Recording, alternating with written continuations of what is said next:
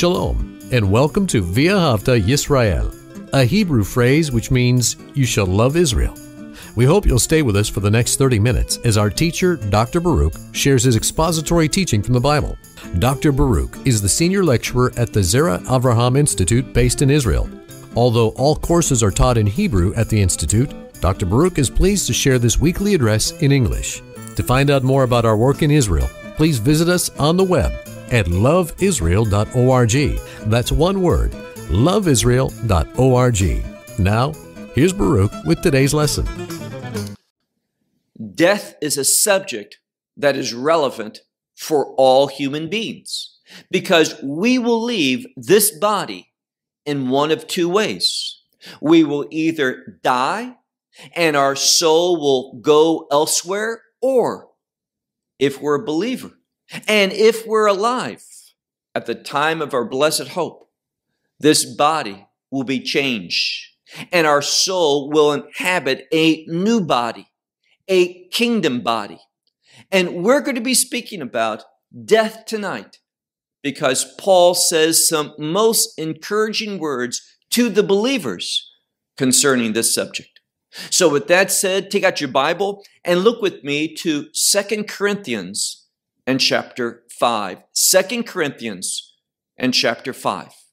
In this study, we're going to look only at the first half of this chapter, the first 10 verses. And here Paul speaks clearly. He speaks with the authority of the Holy Spirit in order that we might know the truth concerning death and what happens after one dies. So let's get started. Let's look at verse 1. And a very important word that is contained here in this passage is the word we. So Paul is speaking not to the world, but he's speaking about an experience that only believers will have. So this scripture is most relevant to those who are believers in Messiah. These promises, this good news, this hope that we have is one that is reserved for those who have accepted Messiah Yeshua into their life. Let's begin verse 1. 2 Corinthians chapter 5 verse 1. He writes, "For we know that if our earthly house." Now, the earthly house that he's speaking of is not where we reside, what address, where our home is located. He's using figurative language. When he says our earthly house, he's not speaking about our home, our apartment, where we dwell, but rather he's talking about our body, where our soul resides. And this is going to become very obvious. It's not an interpretation. I can be dogmatic and very, very strong in that view because I've read the other verses in this section. It's clear that he's speaking about our body because later on he'll say our body. And when we look at verse one, let's press on. He says, for we know. And this is a word that has to do with knowing in the past, knowing now, and nothing will change this in the future. We can be assured of this. See, we always have to pay attention to the vocabulary. There is a difference between the word gnosko for knowing something and the word oida for knowing that. And that's why if we're going to enter into a discussion about the scripture, the vocabulary that Paul, the authors of, of a particular passage, we need to know the language, the words that they chose, and the implications for why they chose one word rather than another word. They both mean no, but they have some very serious implications to them. And therefore, he says, For we know that if, and we see the subjective. And this is important because he's speaking here about a, a possibility something that will happen, but we don't know necessarily when. So that's why it's in the subjunctive. I said that wrong the first time. The subjunctive. So he says, For if our earthly bodies, and that's what he's speaking about, our earthly house. And then he has a phrase, to, this is the, but it's in the sense of of. And then we have a word. If I said the word skin, you know, the body's covered with skin. And this is a word here, skinos, which is the word translated tent. So he says a person, for example, dwells in a tent. That was very common at one time. Now, our souls, we have an earthly tent. And what is that? As he's going to tell us, it's our body. So now he's using terms in order to clarify to his audience what he's speaking about. Let's look again at this first verse. For we know that if our earthly house of the tent, of the skin, should be, and this is what is the subjunctive, should be destroyed. Now it's going to be, but we don't know when. So whenever this happens, whenever our, our earthly body, what he calls our dwelling place, our home at the present time, when our earthly body should be destroyed, he says, a dwelling place. And he uses a similar word, but it's different. Where the first one was speaking about a, a house, a dwelling place, this is speaking about perhaps a building. It is to contrast and speak about something that is greater, something that is larger, having more significance. And he says, a building from God we have. So we can have assurance. He tells us that if our earthly body is destroyed, and it's really when it will be destroyed, it's going to be no more, it's going to give away. But this should not cause us anxiety, uncertainty, fear, dread. For we, here again, only to believers, for we have, and notice what he says, a building from God. And now he's going to describe this building. And he goes back to the word house, a place of intimacy, a place of safety, a place of, of security. He says, a house, but then he has a phrase, being made by hands. And he has a prefix in front of it, which means not made by human hands. So if something exists in the scripture that is not made by human hands, normally we assume it to be, and rightly so, that it's made by God. And this is confirmed. We've already saw where it says, a building from God we have, a home not made by human hands, but one. And because God makes it, we know something Look at the next part of verse 1 at the end where it says, eternal in the heavens. Now, the term heavens here is also connected to God. It also, heavens is also a word that's frequently in the new covenant connected to the kingdom. We have the kingdom of heaven and we have the kingdom of God. So heaven is frequently a kingdom word. So once more, we know something. We know that if our earthly house of, of skin, of a tent, should be destroyed, a building from God we have, a house not made by human hands, but rather, he says, one that is eternal in the heavens. Verse 2. Now, before we look at this second verse, that's good news. So I don't need to be fearful if I'm a believer about my body. What ultimately is going to happen to it because we see something. When my earthly body should be no more of destruction, of decay, of, of no more inhabitable, then I have something. I have a building that God has made that's eternal and it's in the heaven. It has a kingdom connection. That's what undeniably verse 1 is saying. Now, let me point out that we're going to see later on that there's not a, a time period between these two things. Meaning, there's no evidence here that when one dies, that they go into a state of sleep. Paul says nothing about it here. Now, does the Bible talk about sleep? Yes. But it's speaking about sleep, as I've said so many times, simply using that term to say, Are you afraid of sleeping? No one's afraid of sleeping. Therefore, we shouldn't be afraid of death. Why aren't you afraid of sleeping? Because you expect to wake up. You have that assurance. I take a nap, I go to bed at night, but in the morning or when I wake up, I do just that. I start again my life. I just took a rest. It's not the end. Sleep isn't an end, it's simply rest. And what he's saying here in this same way, death isn't an end.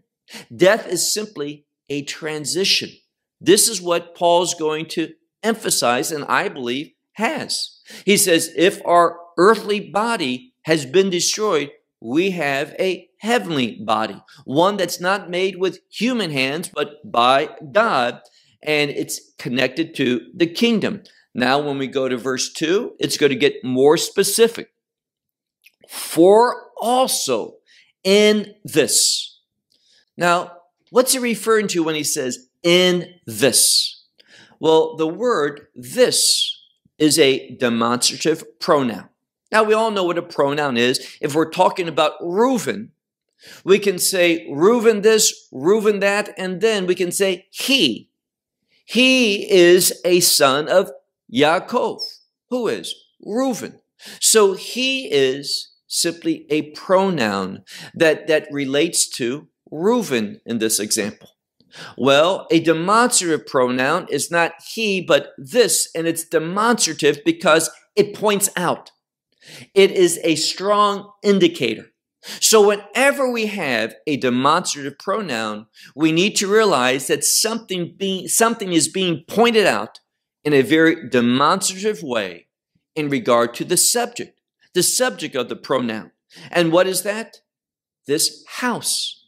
So he says here, for also in this, meaning this house, which is referring to this body. So as long as we are in this body, this earthly body, dwelling in skin in this tent, as Paul says, what do we do? We groan. And this is a word that expresses sorrow. It can express pain. It can express discouragement. And when we live in this world, we have those things. Some days, how are things going? Very well. But it's not too long until we have something that interrupts that, that joy, that, that peace, that happiness. We hear something, we experience something, we learn something, whatever it might be, that causes us to have sorrow, to have feelings that are, are not pleasing. And this is what he says. He says, For also in this, this body, we groan. Now, we're groaning currently, and we also desire something. What is that? Well, notice what he says. He speaks about once more this, this building, this building which is from heaven. And notice what he says not just any building, but he uses our building from heaven to be clothed. And then he says, we yearn for. We, and it's a word for a strong, passionate, intense desire. Now, we know something. Paul is laying the foundation to teach a principle. He's already alluded to it, and that's this. When I'm in this body, I have things that are not pleasing, that are not comfortable, that are full of stress, anxiety, sorrow, pain, all of those things.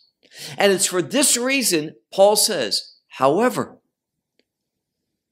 our building from heaven, our heavenly home, he says, we're going to be clothed with.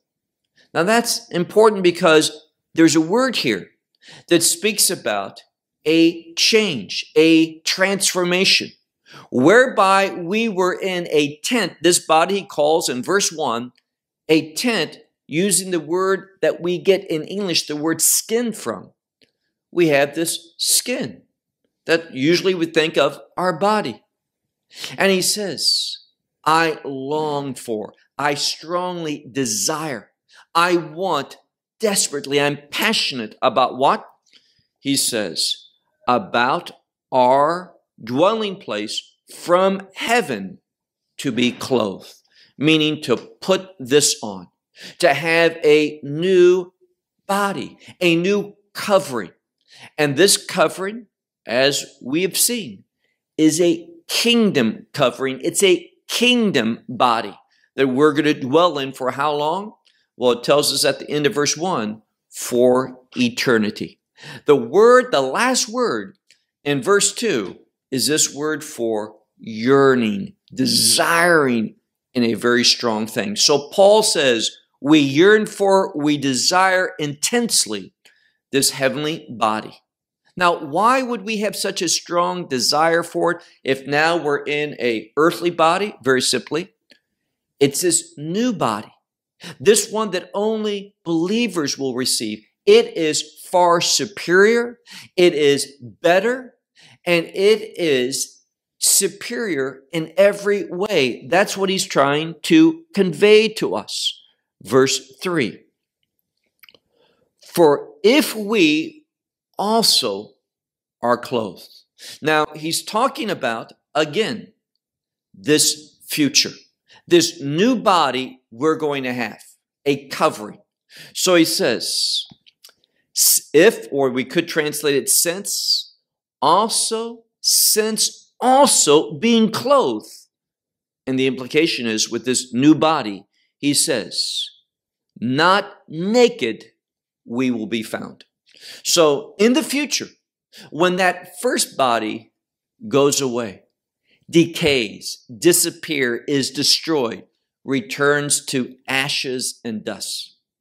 He says, we're not going to be naked, but rather he speaks about being clothed. And what's very important is we are going to be found to be clothed, not naked. Now, the term naked in the Bible is frequently associated with shame. One who has nothing pleasing to God is naked, or he has dirty clothes, filthy garments. That speaks about unrighteousness. But ones that are clothed properly says in the scripture that the clothes are the righteous acts of the saints in regard to the bride of Messiah. And this is what this is alluding to that we won't be naked, we won't be ashamed because we are going to be clothed. And this is how we're going to be found. And the implication is found by God. Verse 4. For also the ones being in the skin, it's that same word for tent. The first time he used it, it was this earthly tent what we dwell in right now, what's we? The very essence of a human being. It is that neshama, that soul, the spirit of man. And that dwells currently in this body. And as long as it's there, what does he say? Very carefully, verse 4. For also the ones being in the tent, he says it a second time, what do we do? We groan. It is a word of, of relating to, expressing pain, sorrow, grief, sadness, suffering. That's what this body experiences. Now, we can know joy and happiness and pleasure, but more often than not, in this body, what does Paul say elsewhere? In the body, you're going to have trouble. And that's why, and we'll see this, Paul, if given an option, a choice, just for himself, he'd rather leave this earthly tent and put on that new body, that kingdom body. That's what his desire is for. He said that at the end of verse 1. We are passionate about this. Therefore, look at verse 4. For also the ones being in the skine, skin in the tent, we groan. Why? Being burdened. And then he says, unto which we do not want, we do not want not to be clothed. We don't want to be without clothes, but he says that we want to be clothed. In order that, in order that the, the death, the mortality be swallowed up by life. So he says it's not that we just want to dissipate, not exists. This world is full of pain and suffering and sorrow. We know it's going to get worse. It's going to get much, much, much worse. And a believer does not say, Well, I just want to die and be done with it. Just end. One who wants to end life, one who wants just to escape, to cease to be, this is not someone who has faith. We're passionate about a new body because that new body is connected to, and I hope you know where I'm going, it's connected to the kingdom. So Paul says here, it's not just because we groan and we're uh, burdened. He says, unto which we do not want to be unclothed, but clothed, in order that this body of death, this mortal body, that it be swallowed up, and I love this next phrase, by life. Now we see there is that, that consistent throughout the scripture, this consistent relationship between a kingdom experience and the life. I have life now. I'm breathing, my heart's beating, but I don't have the life. Life in that new existence of the kingdom. This is what should excite us. This is what should motivate us and drive our behavior in this world. So Paul says, it's, it's not that I want to be unclothed, meaning die, but I want to be clothed in order that the mortality, and that word mortality is simply the word death in Hebrew, comes from the same origin that, that the mortal body should be swallowed up by life. Verse 5. Now he's going to tell us who brings that about. There's only one source that gives us this life, the life, the kingdom life. And that's why he says, look carefully at verse 5. We have a participle. It begins, but the one who is working this out for us. It says, this, this very thing, the same thing, what he's talking about. Who's the one that works it out? He says, God. The Greek word theos. God does. He works this out for us. Why? We could never do it ourselves. We are a recipient. What does Messiah say? He says, If I go away, I will prepare a place for you, a dwelling place. This is what he's referring to. This, this place and also a new body for, specifically designed for that kingdom experience. Once more, verse 5. But the one who works this out for us, this very thing, is God. And he gives to us, and this is the proof, he gives to us the guarantee of the Spirit.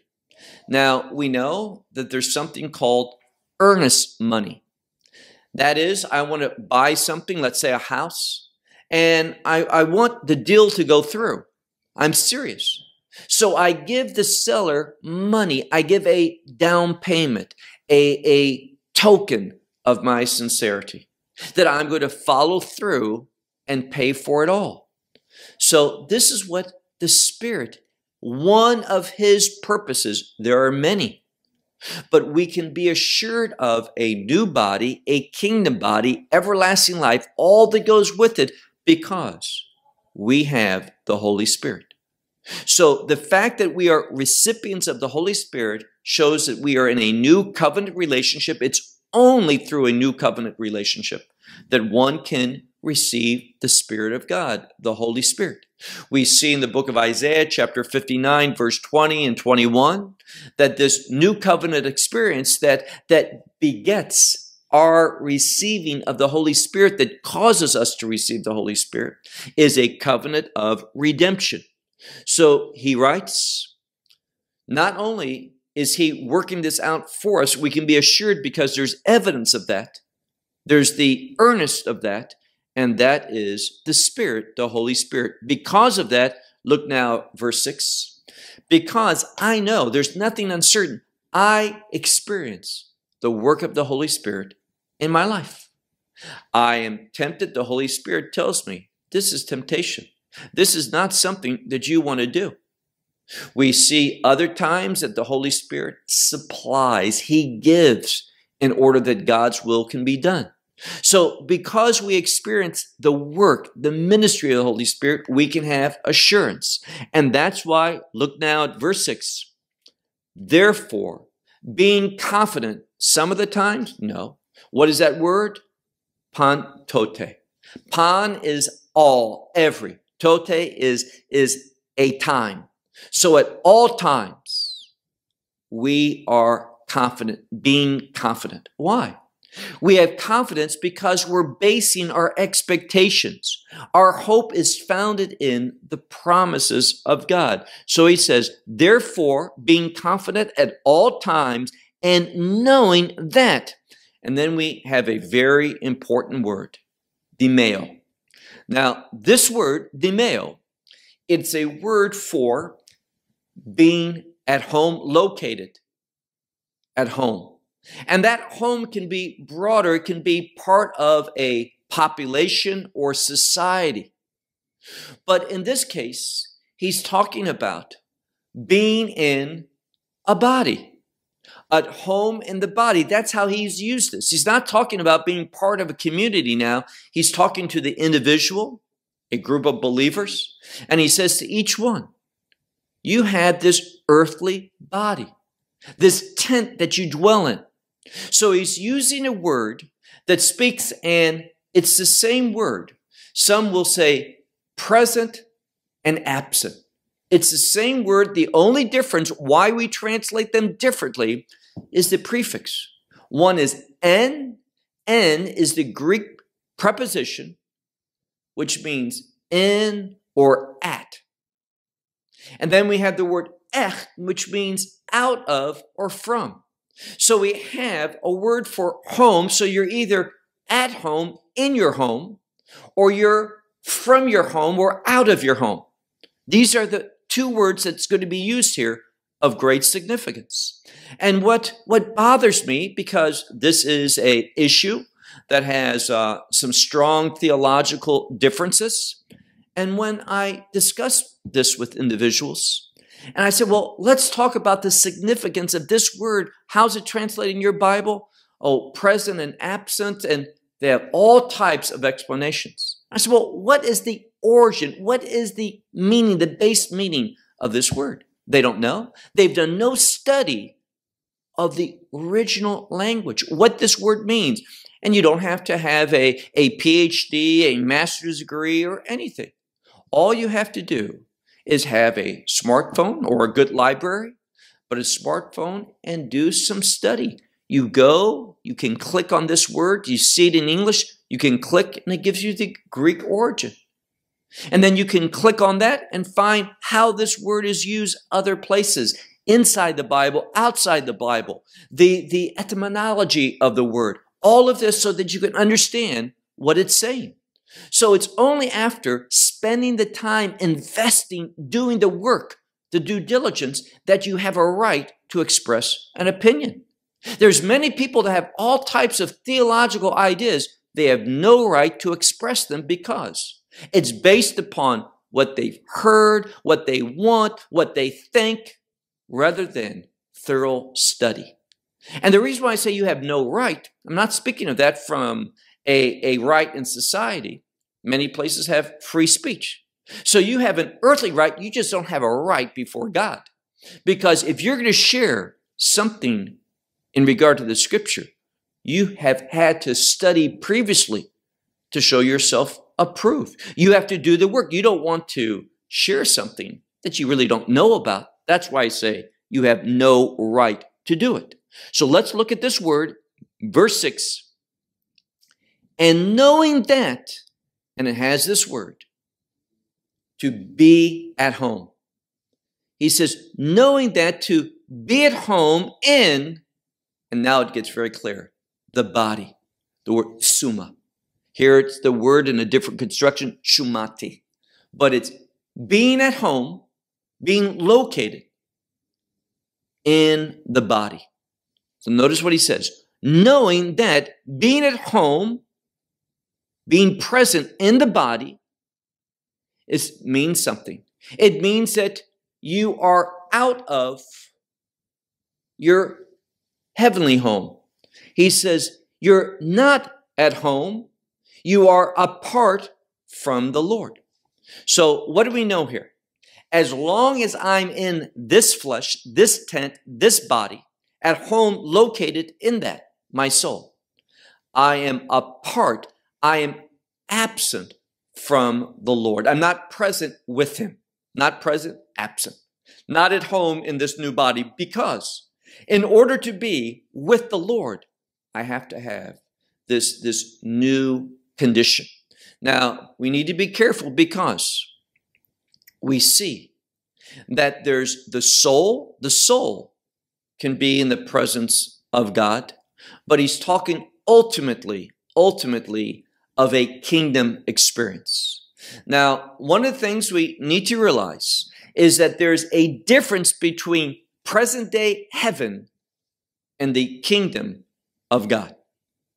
Now, why do I say that? Well, for example, we know something. We know that heaven is not eternal.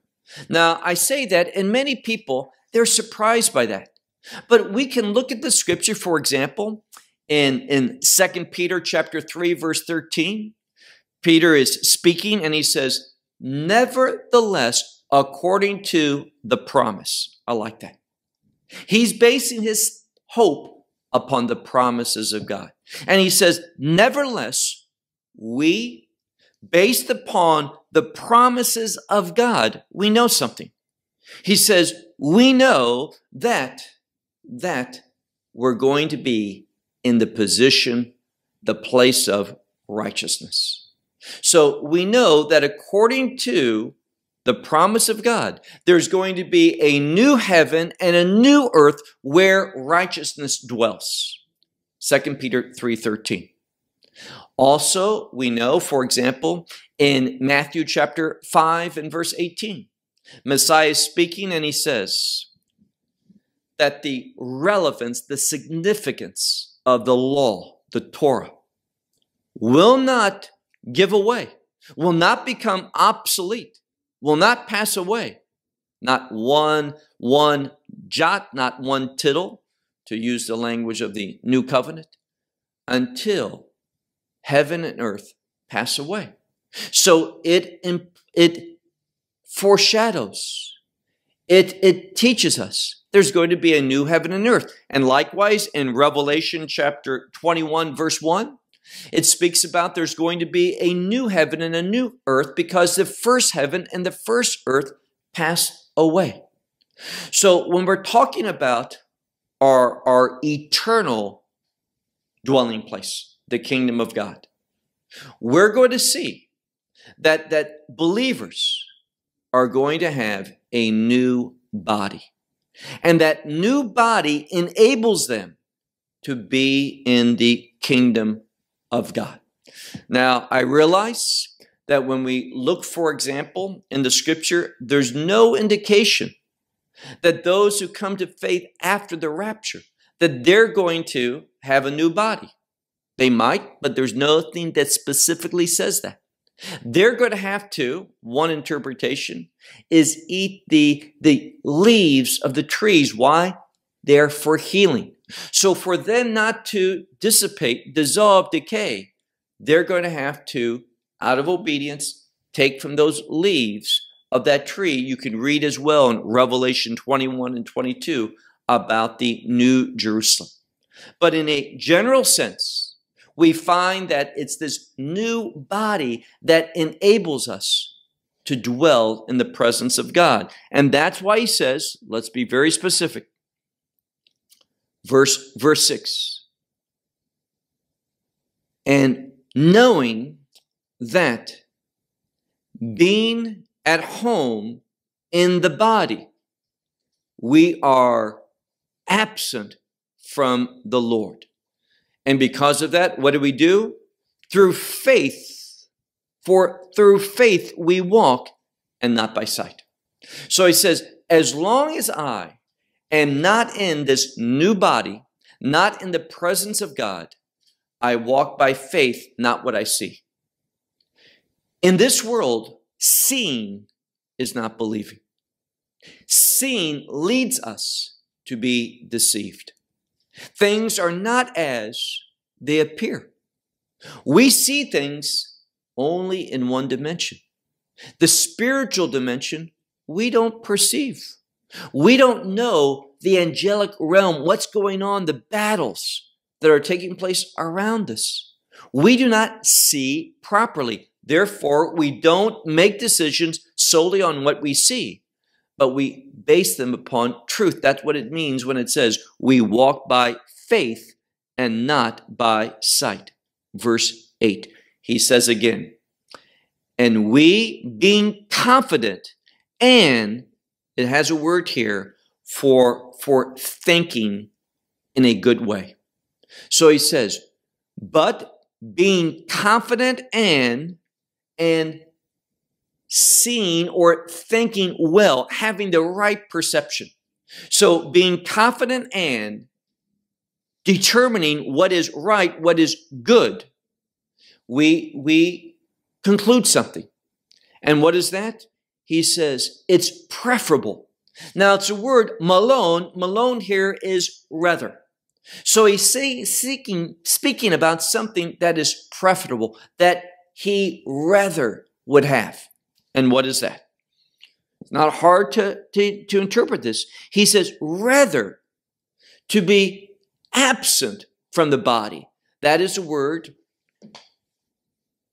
to be out of home from this body. So he says here, it's preferable. We prefer, I'd rather be absent, absent from the body. And what do we know? To be absent from the body is to be at home with. To be at home. What's his home? This new home. To be present with the Lord. So we learn something. We see no time period in between these things. Paul is saying two things. We are either going to be at home in this body, in this tent, or we're going to be in a new experience, a new home, ultimately. And when we die, we will go, there's nothing sleeping, there's no rest period, this time. It says to be absent from the body is to be present with the Lord, to be at home with the Lord. There's two alternatives either to be in this body, if you're a believer, or to be present with the Lord, at home with Him. That's what he's saying. Very important that we see this simple message, this simple truth. So, once again, but be confident and thinking well, thinking in a right way. We prefer, we'd rather be absent from this body and to be present with the Lord. Verse 9. Now, 9, the key word in verse 9 is a word of, in modern uh, uh, thought, this would be the word ambition. Having an ambition. What it speaks about is a strong, strong, strong desire, a passion about something. And this is why he says, look again, verse 9. Therefore also,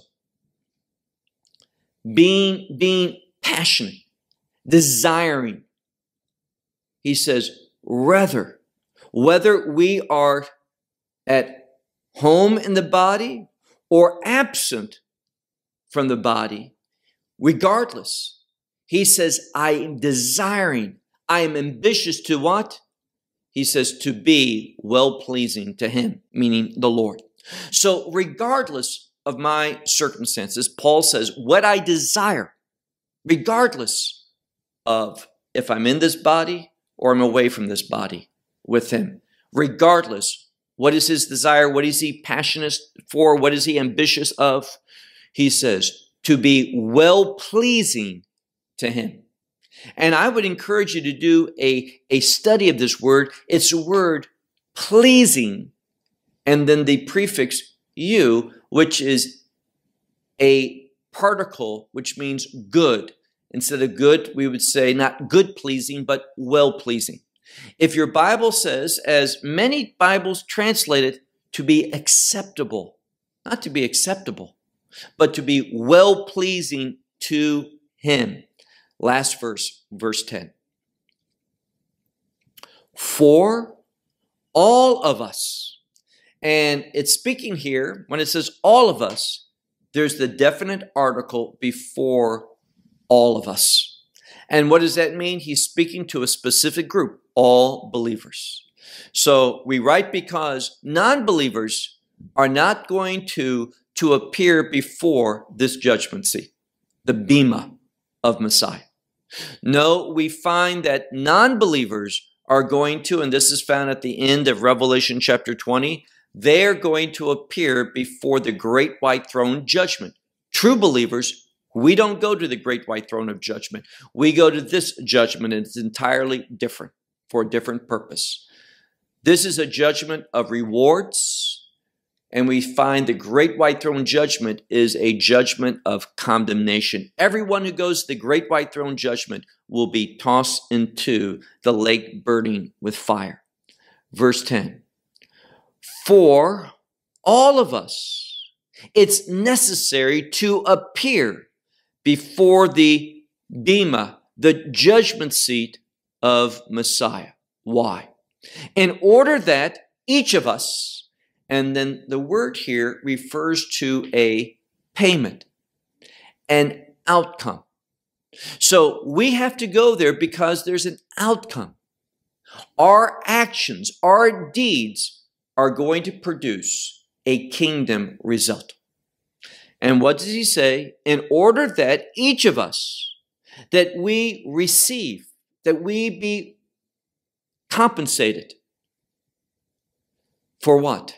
the things through the body and speaking about what we done what we have done in this body while we were in this body so the things that were through the body according to everything each one that he did so we are going to be compensated there's going to be an outcome messiah is going to render judgment in regard to all of the things that that one has done in the body, whether these things be good or whether they're bad.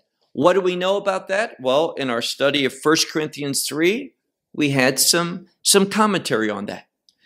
And here's what we learn everything that we have done in the body, in the flesh, that's displeasing, that the scripture says is bad, Messiah went to the cross for that.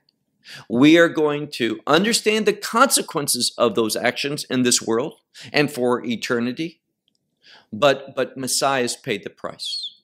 Everything that's good that he did through us, he gets all the praise and honor, but we're going to be rewarded.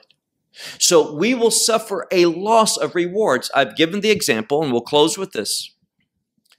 Given the example that that Messiah He's created. We have a, a purpose, a plan for our life, and all the rewards. If we were to faithfully carry out that plan, those rewards are waiting for us. And we're going to see, see them. But, but those things that were done that were evil, bad, not according to the will of God, we're going to see them being lost. Talks about in 1 Corinthians chapter 3 how they suffer loss. Those things that were remain that were good, we're going to get the reward. So we're going to understand what our life could have been and what it was.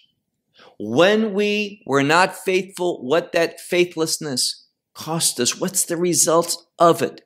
This is the purpose of the Bema seat, the judgment seat of Messiah that every believer is, is going to go before. It is not the great white throne judgment. Those who go to the great white throne judgment, they are all, all of them are non believers and they're going to be condemned eternally to that lake that burns with fire. So the message here is very simple. We are going to have a dwelling place. Now, the dwelling place ultimately is the kingdom of God. It is our new home. For those who take part in the rapture, we're going to have a kingdom designed body for that.